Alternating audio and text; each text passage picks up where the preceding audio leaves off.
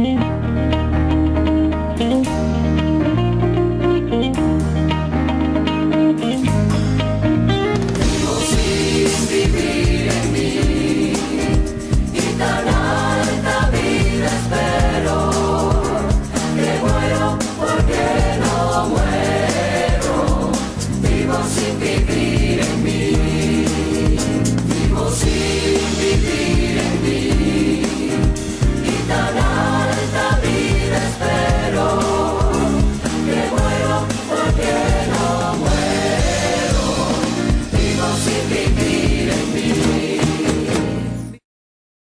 Señor dijo a sus apóstoles, muchos son los llamados, pocos los elegidos.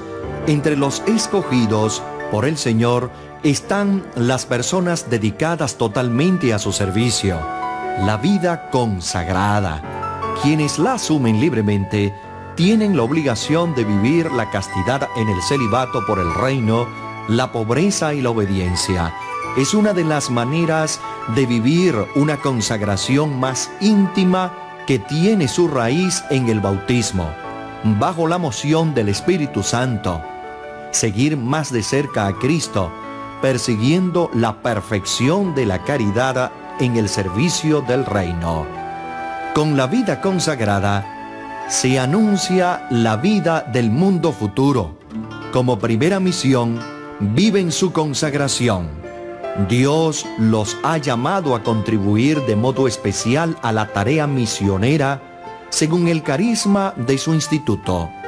Entre los modos de la vida consagrada se encuentra la vida religiosa, la cual tiene dos dimensiones, vida activa, a imitación de la vida apostólica de Cristo, y la vida contemplativa, a imitación de la vida oculta y orante de Jesucristo. Esta última es la asumida por los carmelitas. Remontándonos al origen de la Orden del Carmelo. El origen de la Orden Carmelita está en el Monte Carmelo, que en la tradición bíblica y patrística significa jardín fecundo. Alrededor del Monte Carmelo había sequía mientras que en éste florecían y daban frutos las plantas. A él recurrían quienes pasaban por la calamidad de la sed.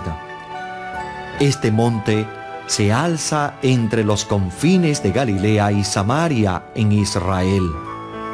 Es una especie de cadena de montañas de unos 30 kilómetros de largo por 12 de ancho y 550 metros de altura. Aquí se establecieron en el siglo XII algunos hombres para vivir, para llevar vida de ermitaños, es decir, dedicados a la oración en el silencio y soledad. Estos hombres se reunieron a imitación del profeta Elías junto a la fuente que de él tomó el nombre viviendo en celdas labradas en la roca.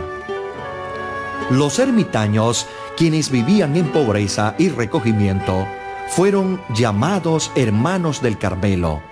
Todo su plan de vida era en honor de María, por amor y devoción a la Madre de Dios. Por eso, la primera capilla que levantaron los carmelitas en el Monte Carmelo fue dedicada a la Santísima Virgen, a quien llamaron más tarde la Virgen del Monte Carmelo. Una regla de vida evangélica. El patriarca de Jerusalén, San Alberto, entre los años 1206 y 1214, les ofreció a los primeros ermitaños la fórmula de vida confirmada por Inocencio IV en 1247. El texto afirma que es fundamental vivir en obsequio de Jesucristo y servirle con corazón puro y buena conciencia. Para lograr este objetivo, el alma carmelitana se dedica a abrirse totalmente al diálogo con Dios tratarse como hermanos, meditar día y noche la palabra de Dios, orar juntos o solos muchas veces al día, celebrar diariamente la Eucaristía, trabajar con las propias manos como el apóstol Pablo, purificarse de toda mancha de pecado, vivir pobremente poniendo en común los propios bienes, amar a la iglesia y a todas las gentes, conformar la propia voluntad con la de Dios, buscándolo en la fe con diálogo y discernimiento. Emigración y adaptación a Occidente. Toda la vivencia de los ermitaños en el Monte Carmelo con la persecución musulmana desapareció. Los carmelitas emigraron a Occidente, dejando su vida, su experiencia de la montaña, vinieron a estar en la ciudad, pero conservando su espiritualidad. En la montaña sembraban para alimentarse, en la ciudad pedían limosna para sustentarse. A fines del siglo XIII, los carmelitas ya se habían extendido por diversos países de Europa. En esta época ya existían aproximadamente 150 conventos. Comienzo de la rama femenina. El prior general Juan Soret, viendo los frutos que había tenido la vida carmelitana, hizo que ésta se viviera entre las mujeres, iniciada en 1452 en Holanda, Italia y España. El monasterio de la Encarnación de Ávila se fundó en 1479. En este ingresó Santa Teresa de Jesús en 1535. La Reforma, el Carmelo Descalzo. Las Carmelitas Descalzas nacen de una experiencia mística de Santa Teresa de Jesús en 1560 que sintió el impulso de observar con perfección la regla primera de la orden. Así comenzó la reforma tras una conversación con un grupo de monjas y seglares, donde surgió la idea de fundar un monasterio de mayor austeridad. Teresa abandona el monasterio carmelitano de la Encarnación de Ávila para fundar una casa donde deben haber solo 15 monjas encerradas de nunca salir, fundadas en oración y mortificación. La inauguración del nuevo Carmelo fue el 24 de agosto de 1562 bajo el patrocinio de San José, orientado a la contemplación, silencio, pobreza, penitencia, oración por la iglesia, el Papa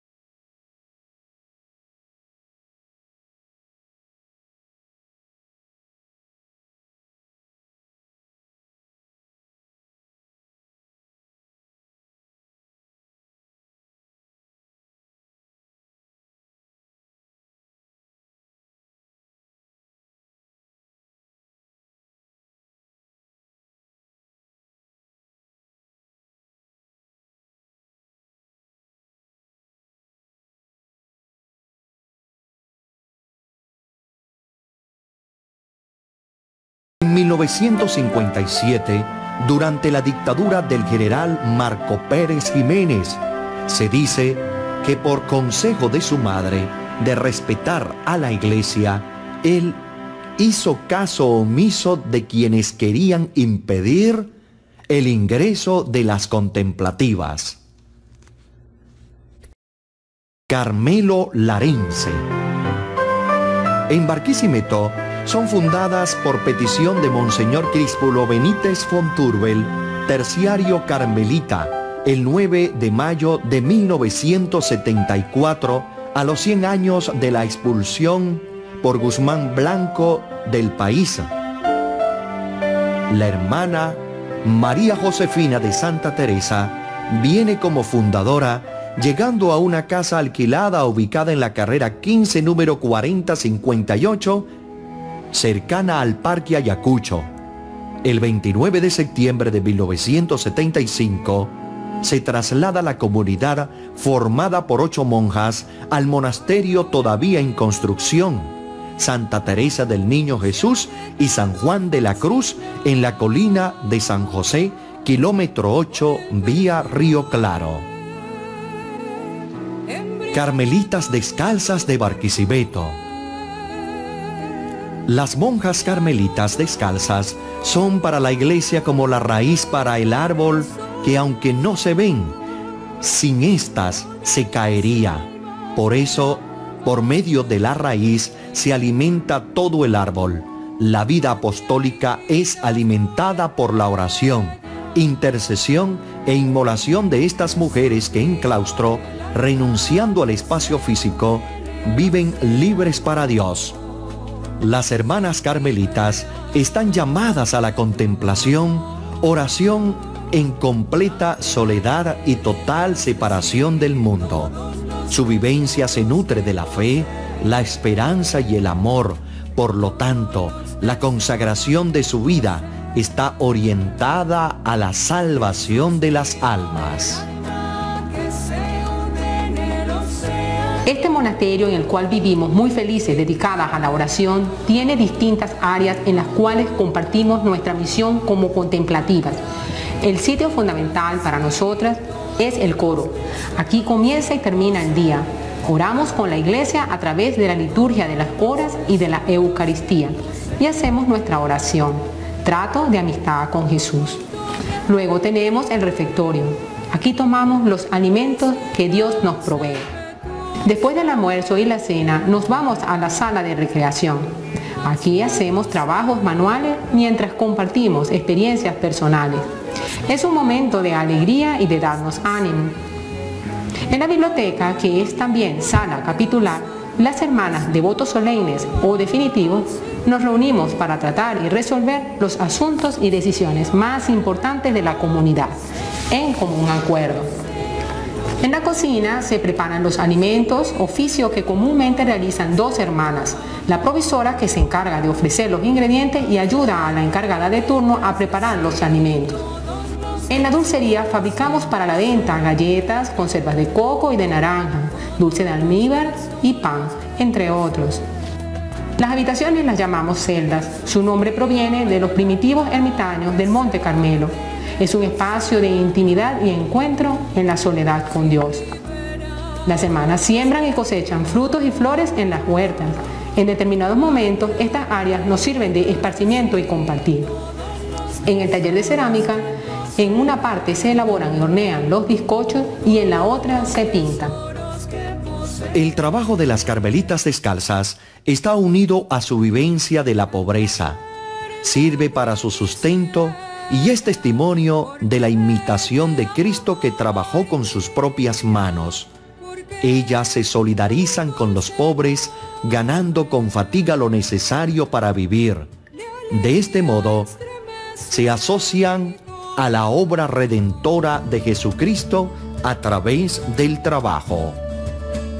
Con la gracia de Dios, las monjas carmelitas viven en un clima de comunión y caridad fraterna ellas son una familia a semejanza de los primeros llamados por Cristo, que Santa Teresa denominaba el pequeño colegio de Cristo. La Carmelita descalza no es una mujer frustrada, sino que vive su profunda experiencia del amor de Dios en Cristo encarnado, quien la escoge como su esposa para ser la madre fecunda de las almas. Ella las engendra en la fe, la alimenta con la oración y el sacrificio para darlas a la luz en la eternidad, vida que nunca terminará. Nombre es Carmen de Jesús, tengo 35 años en esta aventura maravillosa del amor de Dios en la vida religiosa. Me siento plenamente realizada, feliz. Todo comenzó desde que mi papá nos inculcó un amor grande a la Santísima Virgen y rezábamos el rosario todos los días en familia. En mí iba creciendo una necesidad de un encuentro con el Señor en la oración. Y recuerdo que de niña, después de cenar, me iba al cuarto a hacer mis oraciones porque no quería dejar de hacerla y sabía que si la hacía más tarde me iba a quedar dormida. Después, a los nueve años, una religiosa visita mi hogar porque una de mis hermanas mayores tiene inquietud a la vida religiosa. Me, me llamó mucho la atención y le pregunté quiénes eran y qué hacían. Me respondieron que eran una religiosa que habían entregado toda su vida a Dios al servicio de los demás. Esta respuesta me impactó tremendamente. Más tarde, a los 13 años, muere mi mamá y como es normal causó en mí un dolor profundo, pero misteriosamente despertó en mí una, un deseo de entrega a Dios al servicio de los demás, a imitación de aquellas religiosas que años anteriores habían visitado mi hogar. Al pasar el tiempo, a los 16, 17 años, quise poner en práctica este deseo de, de entrega a Dios al servicio de los demás. Y toqué la puerta de varias congregaciones y se me cerraron las puertas porque me encontraban muy jovencita y me aconsejaron que siguiera mi vida normal de todo joven. Y seguí mi búsqueda y entré en la Legión de María, luego en la renovación carismática, más tarde en las comunidades neocatecumenales y fue entonces cuando mi madrina me trae aquí a conocer a las carmelitas descalzas. Y recuerdo que en ese momento le hablé con mucha firmeza a Dios y le dije, ya está bueno ya, voy a hacer mi último intento, si esto no es lo mío, me olvido ya definitivo de la vida religiosa y me voy a Mérida a seguir mis estudios. Entré a hacer experiencia y me quedé, porque me sentí como pez en el agua, feliz. Experiencia ha dejado en mí una profunda convicción de la importancia y la responsabilidad que tienen los padres con sus hijos de enseñarle el amor a la Santísima Virgen y el amor a Dios. Porque así como en la parte humana es necesario dos pilares, papá y mamá, para que el niño crezca equilibradamente sano, así en la parte espiritual es necesario el amor a la Santísima Virgen manifestado en el rezo del rosario todos los días y el amor a Dios manifestado en la fidelidad a la asistencia de la Eucaristía todos los domingos. Y todo esto para alcanzar la plenitud del ser. Mi nombre es María Teresa de Jesús. Tengo 48 años de vida religiosa. Mi vocación comenzó de la siguiente manera. Mis padres desde pequeña nos enseñaron las oraciones de la mañana y de la noche en un altar que ellos solían tener con muchos santos.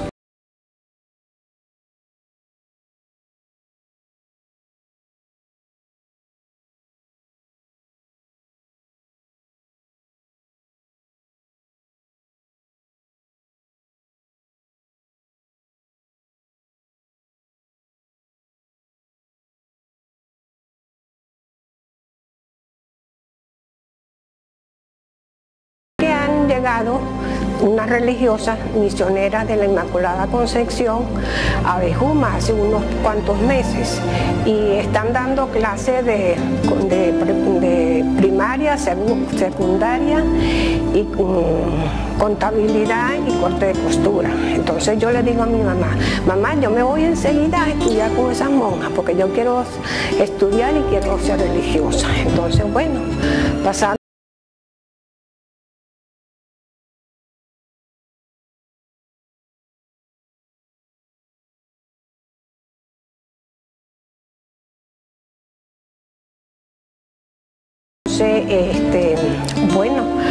estudio y, a los 19 años ella me dice que si quería hacer el postulantado.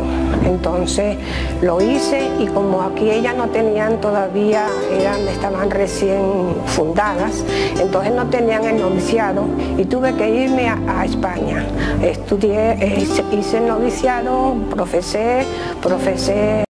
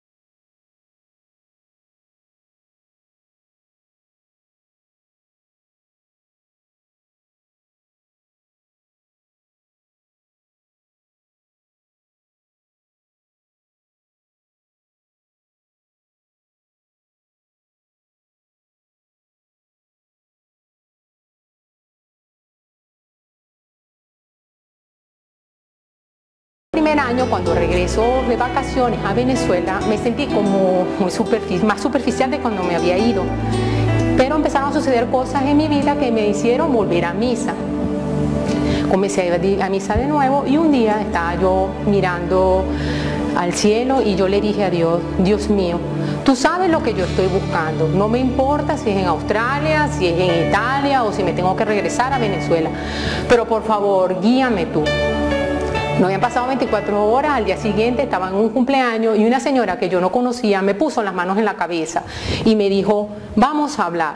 Y entonces me empezó a hablar de estar enamorada de Jesús, de que yo necesitaba un director espiritual. Yo eso de estar enamorada de Jesús me parecía algo un poco raro, nunca había escuchado algo así, pero de verdad me gustó mucho. Y ella a los, a los pocos días me dio la dirección de los padres carmelitas de Florencia porque yo iba para allá. Cuando llegué a Italia busqué esa dirección y toqué la puerta. Me salió me abrió la puerta un fraile, yo le mostré la tarjeta y me dijo, aquí no hablamos español. Y cerró la puerta en la cara. Como yo tenía todas mis expectativas puestas en ese momento, yo me quedé en shock. Y me fui caminando despacito por la acera y cabizbaja. Y de repente yo tuve una experiencia. Yo sentí que como el tiempo se hubiese detenido y escuché, no en mis oídos, sino dentro, Julia, lo que estás buscando fuera está dentro de ti. Y a partir de ese momento mi vida empezó a dio un giro completamente de 180 grados. Compré, me compré un libro de oración y empecé a ir a misa todos los días. Cuando salí de Italia, lo único que yo tenía en mi mente era, Dios mío, quiero responderte por todas las maravillas que has hecho en mi vida. Cuando regresé a mis, a clases en la universidad en Australia, conocí a las misioneras de Verbunday que me enseñaron a orar con la palabra de Dios. Y eso sí verá que revolucionó mi vida porque fue allí en ese momento cuando entendí, cuando eh, supe que solamente Jesús era el único que iba a responder a todas las preguntas que yo tenía en mi vida sobre la vida, sobre el amor, sobre mí, sobre los demás, sobre Dios. Bueno, tuve tres años en Australia, después quise venir a evangelizar aquí en Venezuela, estuve aquí, pero yo sentía que Dios me pedía más. Y bueno, se abrió la oportunidad de venir al monasterio, me dieron la oportunidad de hacer la experiencia y hasta el sol de hoy aquí estoy. De verdad muy feliz en esta vida de oración continua y también para con este apostolado de la oración contribuir de una manera eficaz a la salvación de las almas, porque esa es la voluntad de Dios, que todos los hombres se salven y que lleguen al conocimiento de la verdad. María de los Ángeles de la Divina Misericordia soy del estado Lara, de un pueblo llamado Río Claro. Mi vocación comenzó con las hermanas Paulinas, un día que yo iba caminando y me iba haciendo una de esas preguntas que muchos jóvenes en algún momento de su vida se hacen. Señor, ¿qué quieres de mí? Resonaron unas palabras en mi interior que me dijeron que fuese a las Paulinas. Como estaba cerca, entré a, las a la librería y cuando entré no les puedo explicar lo que sentí, sino fue como una paz muy profunda. Comencé a ir frecuentemente y una de las hermanas al ver mi inquietud me invitó a sus convivencias vocacionales. Ese mismo día entré a su capillita y cuando me arrodillé al frente al Santísimo, el Señor me concedió la gracia de descubrir que me, estaba llamando a la vida religiosa, algo que yo nunca lo había planteado ni lo tenía en mis planes. Entonces con ellas duré un, un año de proceso vocacional y cuando me decidí entrar con ellas, Dios de nuevo cambió mis planes. Un día estando en un retiro con los jóvenes de mi parroquia, como culmen vinimos a la Eucaristía aquí con las hermanas carmelitas. Cuando entré en el sagrario hay una frase que dice, Él está aquí y te llama. Esa frase cautivó mi corazón y me di cuenta que Dios me estaba llamando a algo más profundo. Comencé con las hermanas carmelitas un proceso de discernimiento y cuando me di cuenta que este era mi lugar, me dio miedo y huí. Pero en ese tiempo Dios colocó un vacío muy profundo en mi corazón que nada del mundo lo llenaba. Y la hermana que me estaba acompañando con las Paulinas me dijo que debía hacer una experiencia con las hermanas Carmelitas y así fue como las volví a llamar y entré a hacer la experiencia el primero de noviembre, Día de Todos los Santos. En esa experiencia hubieron muchas luchas de mi voluntad con la voluntad de Dios, pero al final reinó la voluntad de Dios y decidí quedarme por motivo que estábamos cerca de Navidad, este, mis, por, mis padres quisieron que pasara las últimas Navidades con ellos y regresé a mi casa. Y eh, entré definitivamente con las hermanas Carmelitas el 16 de enero del 2012. Eh, no me arrepiento ni por un momento de haber dejado todo por el todo. Ya soy profesa simple, tengo este, tres años y medio y les animo a todos los jóvenes que están sintiendo el llamado que se arriesguen a decir sí, que el amor de Dios cubre todas nuestras expectativas. Mi nombre es María Josefina de Niño Jesús, soy colombiana. Mi vocación se descubrió un día que estábamos en reunión familiar. Mamá le preguntó a mis hermanos qué querían hacer ellos. Ellos todos contestaron que se casaban. Yo que era la menor de las hembras le, respondí, mamá, yo quiero ser religiosa. Mamá se puso muy contenta, pero a la vez se preocupó porque dijo, no tenemos dinero para la dote que piden, ni tienen suficientes estudios. Yo le respondí, mamá, no se preocupe que quien a Dios tiene nada le falta. A la semana siguiente vino una visita de Dios para mi vida. Una enfermedad que me duró dos años, totalmente invadida por una, herida de pie a cabeza. La sangre se me tornó en agua. Hospitalizada dos años. Después de esto, una, una convalescencia lenta. De todos modos, vine a los salesianos a Medellín y estando con ella llegaron las hermanitas los pobres de Maquetía en gira vocacional. La directora del colegio nos preguntó, ¿quién quiere irse con las hermanitas a Venezuela? Yo le respondí, yo me voy. Entonces las hermanitas dijeron, solo dos días para disponer. Yo les dije, no importa, me voy. Me vine con ellas, en la frontera me detuvieron por ser menor de edad. Tuve tres meses en la frontera mientras se arreglaron los papeles. Llegada a Caracas, comencé mi vida religiosa el mismo día. Muy feliz, 13 años con las hermanitas de los pobres de Maiquetía. Pero el Señor me llamaba siempre a la vida carmelitana. Entonces mi vocación era el Carmelo. Hablé con el mi director espiritual y él me dijo, no se preocupe, la llevo a Barquisimeto que están en fundación. Y aquí me trajo. Y me recibieron con mucha alegría. Y aquí estoy hace 38 años, muy feliz. Por eso le digo a la juventud que no tenga miedo de todo por Dios. Quien se entrega a Dios lo tiene todo. Jesús, gloria a Jesús, gloria a María. Sirvámosle a Él con alma y vida. Mi nombre es María Trinidad de Santa Teresita de Niño Jesús. Soy de San Cristóbal, estado Táchira. Sentí el llamado del Señor a la edad de 15 años y entré en la congregación de las hermanitas de los ancianos desamparados. Conocí esta congregación desde los 11 años de edad, ya que por una situación de pobreza y necesidad en mi familia, el Señor me permitió trabajar en una de sus casas, para que de esta forma yo pudiera colaborar al sustento de mis hermanos menores, sin imaginarme que de esto se valía Dios para atraerme a la vida consagrada.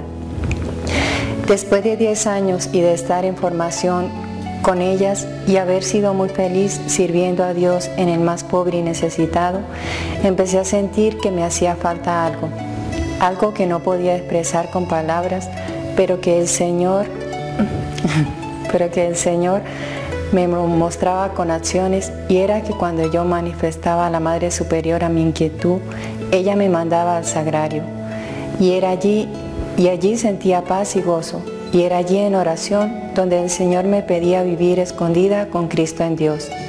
Claro, yo no lo entendía.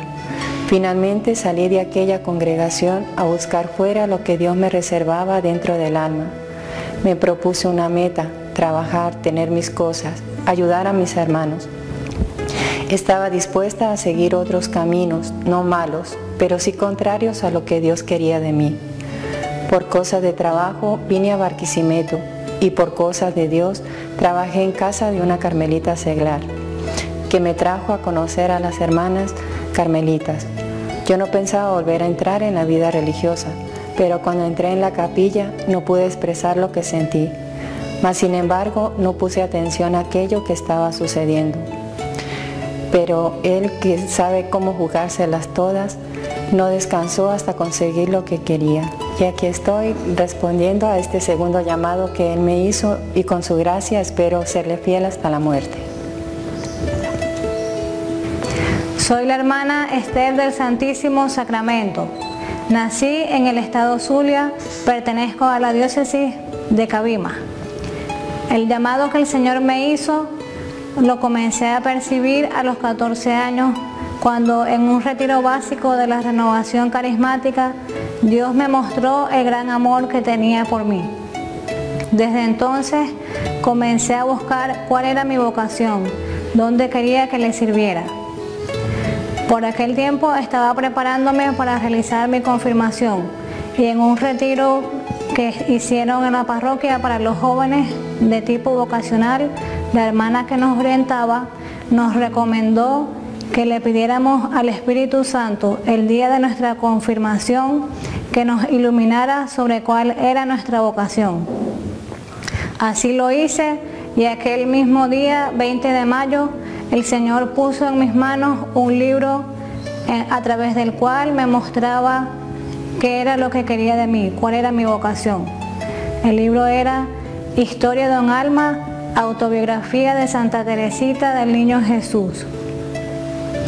Desde, aquel momento comencé a buscar dónde había hermanas carmelitas en Venezuela, hasta que el Señor me trajo a este monasterio donde después de realizar un proceso de discernimiento con las hermanas, pude realizar mi experiencia. Y desde aquel tiempo estoy consagrada al Señor y muy feliz de ser su esposa y poder ayudarle a salvar almas. Animo a los jóvenes a que no tengan miedo de preguntarle al Señor qué quiere de ustedes, cuál es su vocación. Porque si los llamara a la vida religiosa o sacerdotal, sería para hacerlos muy felices, si permanecen fieles a su oración diaria y en las cosas pequeñas de cada día. Dios los bendiga a todos. Amén. Soy la hermana Isabel de la Misericordia. Nací en Valencia. Desde pequeña me gustaban mucho las fiestas, los bailes, tener muchos amigos. Viví dos accidentes fuertes en mi vida, uno a los 12 y otro a los 15, que me llevaron a experimentar la soledad y el silencio. En los dos, pero especialmente en el segundo, el Señor me fue enamorando y se convirtió en mi mejor amigo. Un sacerdote quien me llevaba a la comunión cada mañana me prestó un libro de la vida de Santa Teresa de Jesús. Al terminar el reposo, me invitaron a una Pascua juvenil vocacional, encuentro que me ayudó a comprender que Jesús quería que le consagrara mi vida. Estuve ocho meses como aspirante con las hermanas activas, ayudando a niños. Sin embargo, deseaba pasar muchas horas contemplando a Jesús en el sagrario.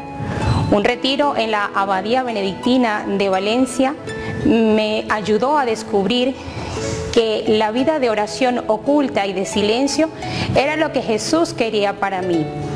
Por medio de unas señoritas del Carmelo Seglar, conocí la vida de Santa Teresa de Jesús, de Santa Teresa de los Andes y la Orden de las Carmelitas en Venezuela. Vine a Barquisimeto a conocer a las hermanas carmelitas y al llegar al monasterio era como lo había soñado. Cuando la madre Josefina, fundadora de este monasterio, trajo a las hermanas al locutorio, me pareció que las conocía desde siempre. Profundamente enamorada de Jesús, decidí entregar mi vida a Él y dejar a mi familia y amigos. Aquí estoy, llena de su amor y felicidad, muy contenta de colaborar con Él en su plan de salvación para bien de las almas.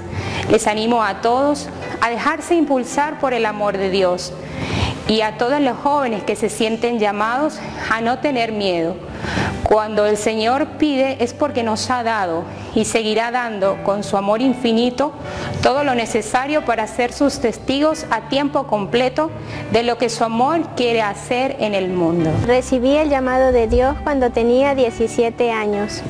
Siempre me había llamado la atención la vida de las carmelitas descalzas y lo que más me gustaba era su vida de clausura. Siempre me preguntaba qué se sentiría estar tras esas rejas, separada totalmente del mundo, pero nunca pensé que quizás podía tener vocación. Un día alguien me invitó a hacer una experiencia con esta comunidad de hermanas carmelitas y me sentí un poco confundida porque no estaba buscando hacer experiencia con monjas. Además ya había empezado en la universidad. En ese momento empezó una lucha en mi alma. Dios que me buscaba y yo que me resistía a creer que podía tener vocación. Un día ante una imagen de Jesús le dije que yo siempre quería hacer su voluntad. Y desde ese día, poco a poco, todo fue cambiando. Un día una amiga me dijo, recuerda que Dios dice, tus planes no son mis planes, tus caminos no son tus, mis caminos no son tus caminos. Y desde y esa frase marcó mi vida para siempre.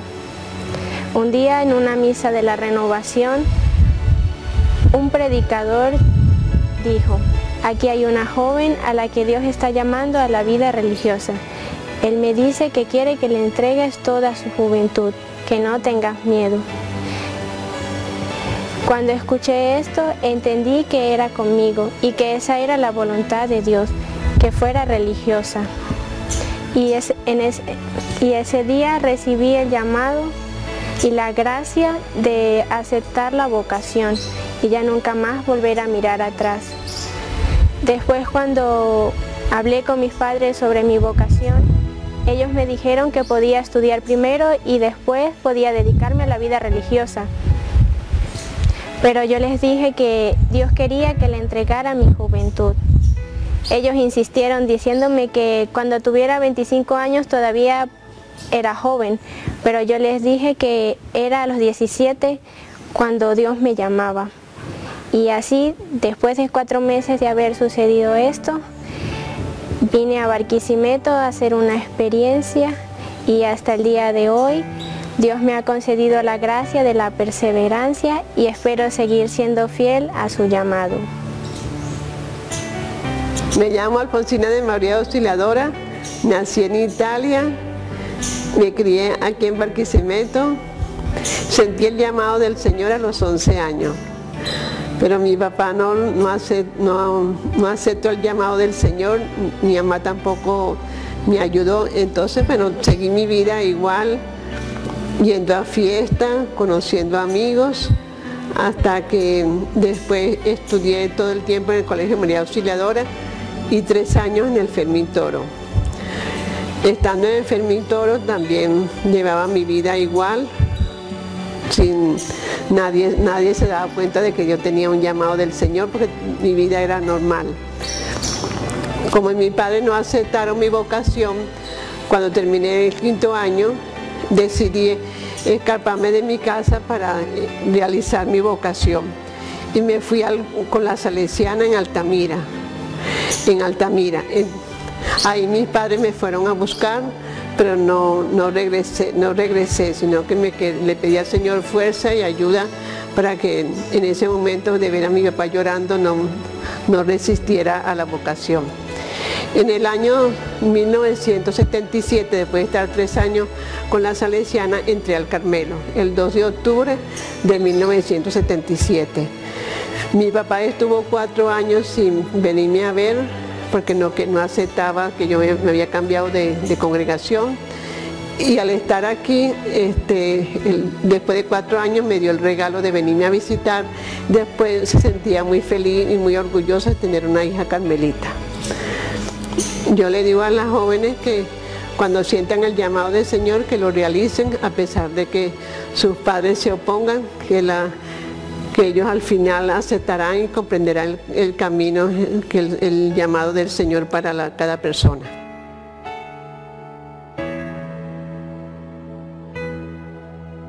La presencia de María entre nosotros los carmelitas es como un sello.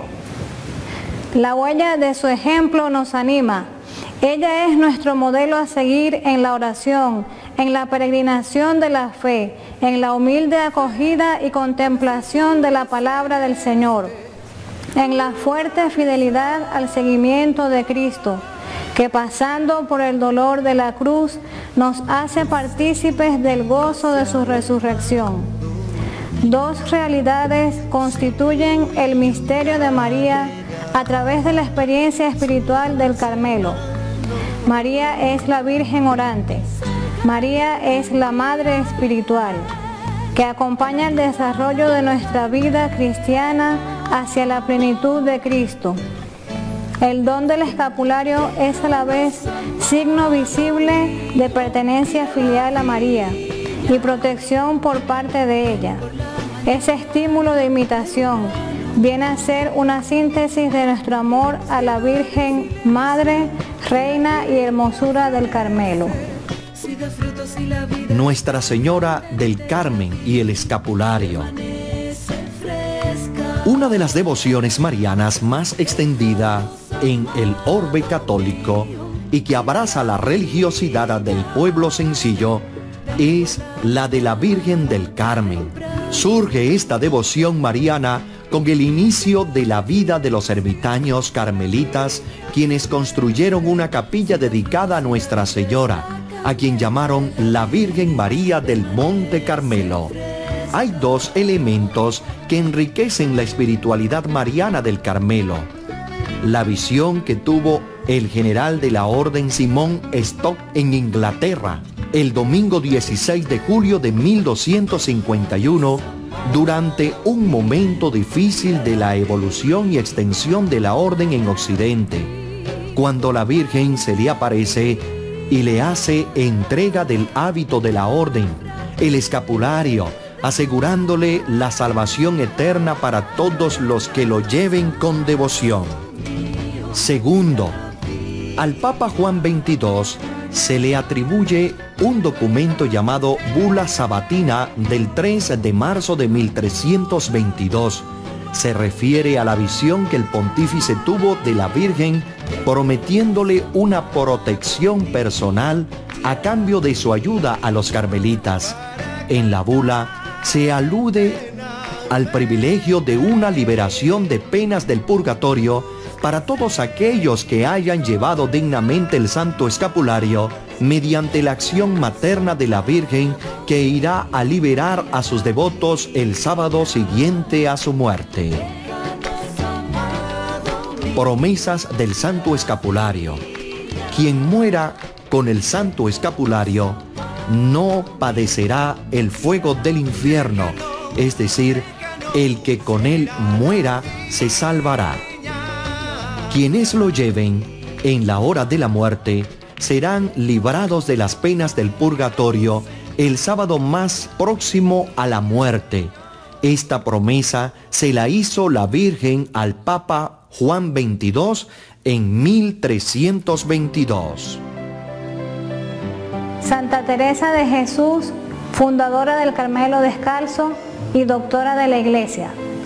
Nace en Ávila el 28 de marzo de 1515. Fue bautizada el 4 de abril con el nombre de Teresa Sánchez de Cepeda y Ahumada. Sus padres, don Alonso Sánchez de Cepeda y doña Beatriz de Ahumada. De 12 hijos, Teresa fue la sexta. A los 13 años su mamá muere. Desde ese día tomó a la Virgen María por madre.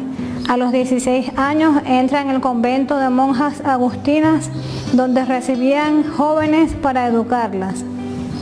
A los 20 años entra en el monasterio de Carmelitas de la Encarnación. Toma hábito el 2 de noviembre de 1536. El 3 de noviembre de 1537 hace su profesión. Cuando tenía 39 años recibe la gracia de la conversión frente a la imagen de un Cristo muy llegado. En los años 1559-1560 tiene una visión del infierno. Comenta, de aquí también gané la grandísima pena que me da las muchas almas que se condenan. Y por librar una sola alma de tan gravísimos tormentos, pasaría yo muchas muertes de muy buena gana. Impulsada por estos deseos, Santa Teresa funda en Ávila el primer monasterio de Carmelitas Descalzas el 24 de agosto de 1562. Inaugura el primer convento de frailes contemplativos en Duruelo el 28 de noviembre de 1568. Teresa llegará a fundar 17 casas. Llegará a haber fundadas 32 casas. Hija de la iglesia, muere en Alba de Tormes a los 67 años el 4 de octubre de 1582. Este día pasó a ser 15 de octubre, cuando fue corregido el calendario por tener un error. Sus obras escritas son Vida, Camino de Perfección, Castillo Interior o Moradas, Fundaciones, Conceptos de Amor de Dios, Exclamaciones, Constituciones, Modo de visitar conventos, vejamen y respuesta a un desafío, poesías y cartas.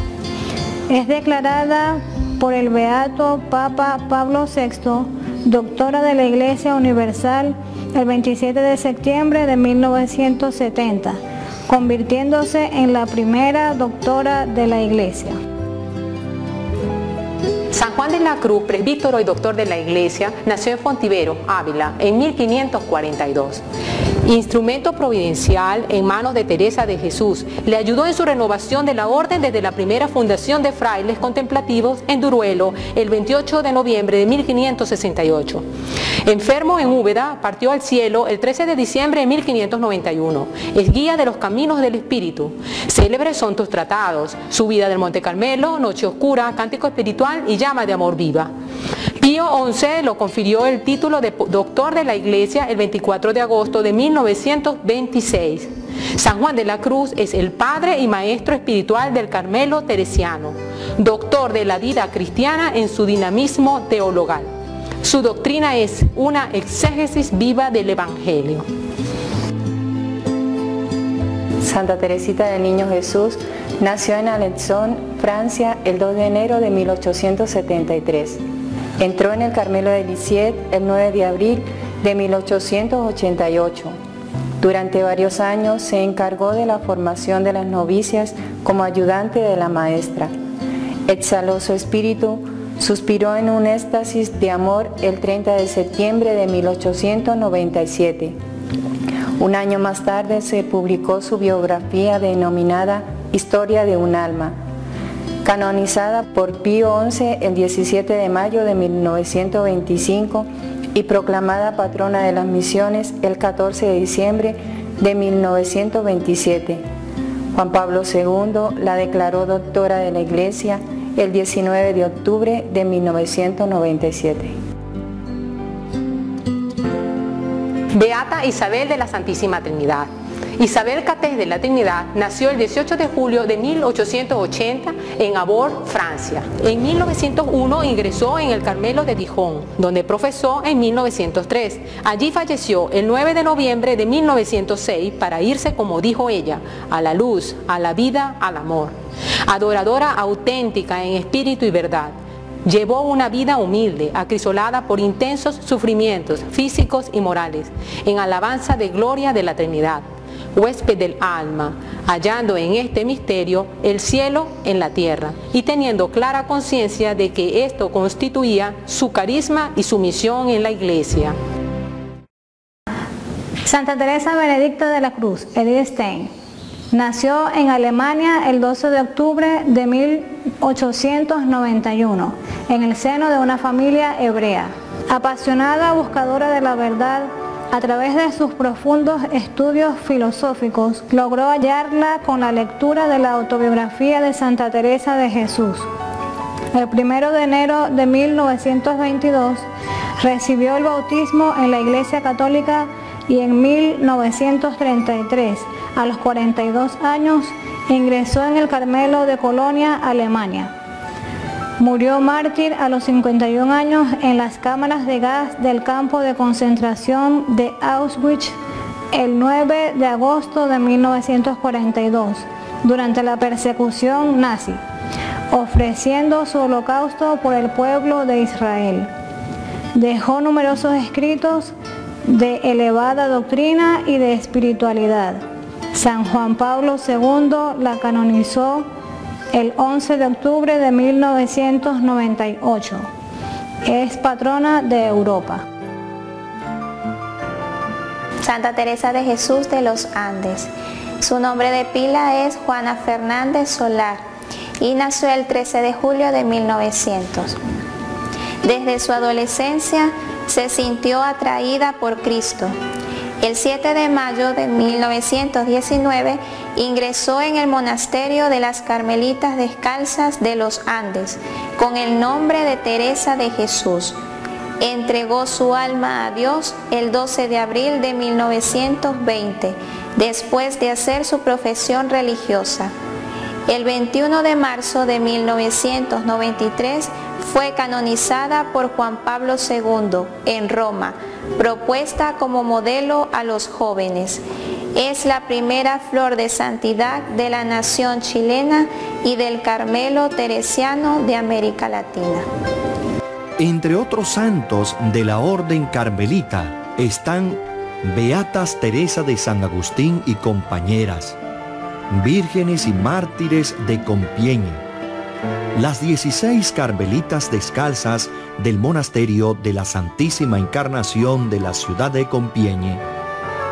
Tan pronto como la Revolución Francesa pareció tomar mal cariz, se ofrecieron a Dios como víctimas para aplacar la divina justicia e implorar la paz en favor de la Iglesia. El 24 de junio de 1794, fueron detenidas y encarceladas, contagiaron la alegría y aceptaron de la voluntad divina a sus compañeros de prisión, condenadas a muerte por su inquebrantable fidelidad a la iglesia y a la vida religiosa y por su devoción a los sagrados corazones de Jesús y María, subieron al cadalso después de renovar su profesión religiosa y mientras entonaban himnos sagrados, fueron ejecutadas en la guillotina. Ocurrió este martirio en París el 17 de julio de 1794. María Boardi, de familia grecomelquita católica, nació en Abelín, localidad de Galilea, el 5 de enero de 1846.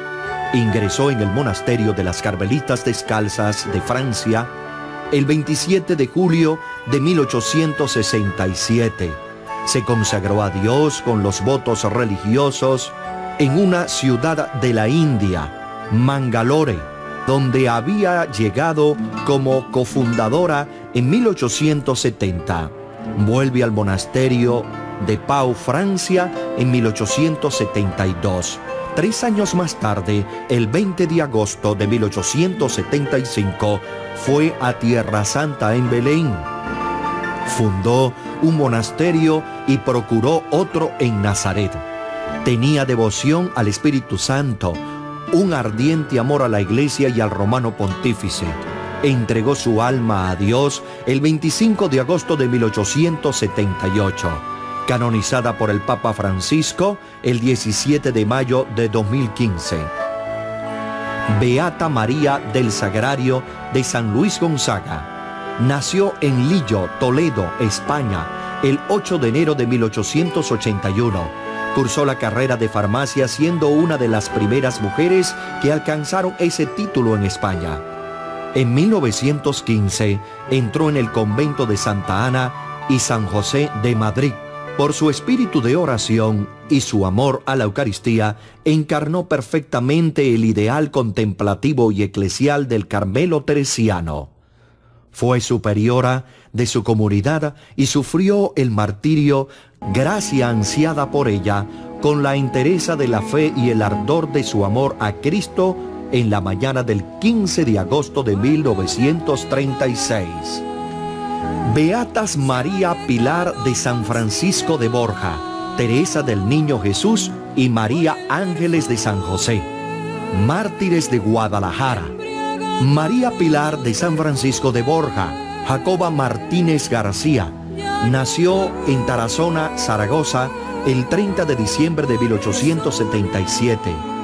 Teresa del Niño Jesús y de San Juan de la Cruz, Eusebia García y García. Nació en Mochales, Guadalajara, el 5 de marzo de 1909.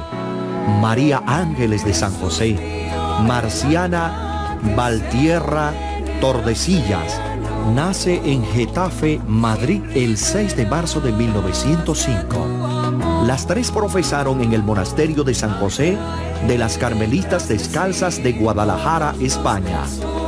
Y las tres sufrieron el martirio el 24 de julio de 1936 después de confesar su fe en Cristo Rey y de hacer oblación de su propia vida por la iglesia. Son las primeras mártires de la Guerra Civil Española de 1936 a 1939, beatificadas por San Juan Pablo II el 29 de marzo de 1987. Beato Tito Brasman nació en Holanda el 23 de febrero de 1881. Profesó en el Carmelo con el nombre de Tito en 1899. Ordenado de sacerdote el 17 de junio de 1905. Se dedicó a la docencia en diversos centros holandeses. Periodista y consejero eclesiástico de sus colegas católicos en 1935 antes y durante la ocupación nazi de Holanda, luchó con fidelidad al Evangelio contra la difusión de la ideología nacionalsocialista y por la libertad de la escuela y la prensa católicas. Arrestado por esta razón, tras un largo calvario de cárceles, fue internado en el campo de concentración de Dachau, donde murió asesinado el 26 de julio de 1942 a los 61 años, con una inyección de ácido fénico. San Juan Pablo II lo proclamó beato el 3 de noviembre de 1985. San Rafael Kalinowski José Kalinowski nació en Vilna, Polonia, el 1 de septiembre de 1835. En 1850 comenzó sus estudios superiores. Dos años después ingresó a la Academia Militar de Ingenieros del Zar Nicolás en San Petersburgo. Recibió el título de ingeniero y obtuvo el grado de teniente en 1957. En noviembre de 1860 fue destinado a la fortaleza de Breslitovsky y ascendió a capitán de Estado Mayor del ejército ruso. El 17 de mayo de 1863 obtuvo la baja en el ejército del zar y se alistó en el levantamiento de Polonia para liberarla. En 1863 la insurrección quedó vencida por haberse sublevado contra los rusos, es condenado a muerte del 24 al 25 de marzo de 1864. Se le conmutó la pena por 10 años de trabajo forzado, liberado en septiembre de 1874. El 15 de julio de 1877 ingresó en Austria al Carmelo Teresiano Recibió el hábito el 26 de noviembre y cambió su nombre por el de Rafael de San José. Fue ordenado sacerdote en Cerna, Polonia, en 1882. Entregó su alma a Dios en Badowis el 15 de noviembre de 1907. El 17 de noviembre de 1991 fue canonizado por San Juan Pablo II. Las hermanas carmelitas descalzas, vidas dedicadas totalmente a Dios, llenas de amor, fe, oración, trabajo y contemplación, consagradas por el bien de la iglesia, instituidas por nuestro Señor Jesucristo y guiadas por el Espíritu Santo.